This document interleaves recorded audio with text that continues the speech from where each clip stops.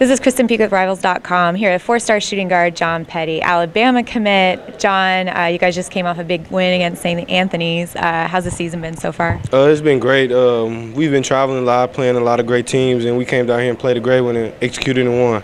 And what sort of things are you doing to get better on the offensive floor? I mean, I saw on the defensive side you're really up in your shot blocking and everything, but what about on the offensive end? On the offensive, I'm just basically just getting my mind prepared, slowing the game down, and thinking faster. Uh, you know, I like to pass the ball a lot. I can score the ball, but I'm just basically working on the mental part of the game.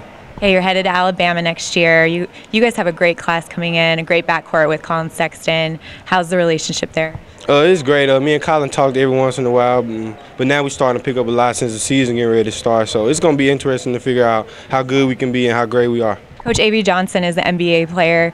What was his pitch to you? Is he kind of using that as a selling point? Uh, yes, sir. Yes, ma'am. He just uh, he's basically just just giving me the knowledge from the NBA, uh, telling me everything from an NBA standpoint, just to help me be able to up, expand my game to the next level. You think that's helping bringing in the other guys as well, like Herb Jones and, and those guys with the monster recruiting class? That, that's most definitely gonna help. Even though I, I played with Herb and Alex and all of them, Galin, you know, I played with Galin this past summer, so I got the familiar and feel to play with everyone. So it's gonna be fun.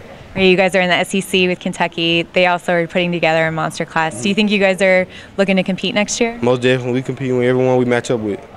and are you looking forward to that matchup? Most definitely. Okay, and, and specifically with the backcourt with Quade and Hamidou coming in, have you played against those two? How do you how do you like that matchup? Uh, it's going to be interesting for me and Collin uh, just to be able to get down and play. It's going to be all about a game of defense, and that's what we're looking to come and do.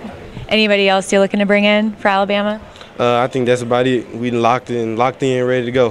When do you expect to be on campus? Uh, June. Yep. I think the first or second week of June. And for the Alabama fans that haven't seen you play, what should they expect next year? Uh, I'm just an exciting player. I like to bring the crowd into the game, so I just tell them to get ready.